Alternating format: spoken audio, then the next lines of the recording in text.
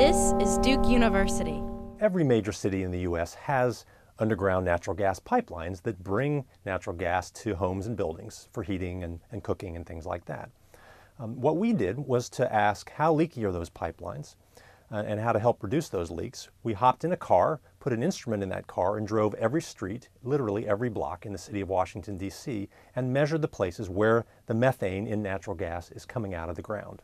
What you're seeing in this map is literally where the leaks are, the, the height and the color of the peaks on that map represent the, the concentrations that we mapped. Of the thousands of leaks that we found, most of them were reasonably small. In other cases, though, we found concentrations in the air above the streets, perhaps 50 times above background. 12 of them had explosive concentrations of methane. Those kinds of spots are dangerous. I mean, in, in, in rare cases, manholes blow up um, and there are explosions. So I don't want to I don't want to create a false sense of panic here. But I do think there's an opportunity to, to in, increase or improve the safety of, of this pipeline network and to, to accomplish a whole bunch of other good things too, saving money and improving air quality, things like that. One of the motivating factors uh, for this kind of work is climate change and the greenhouse gas budget.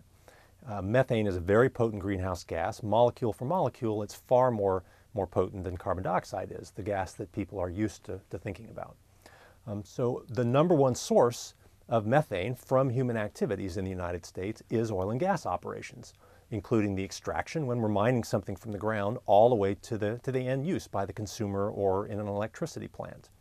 So because it's the number one source of, of methane in, in things that we do as people, anything we can do and any information that we can generate to help reduce those, those uh, leak rates um, improves the situation, reduces, uh, reduces greenhouse gas emissions, and makes, makes everything better. Produced by Duke University.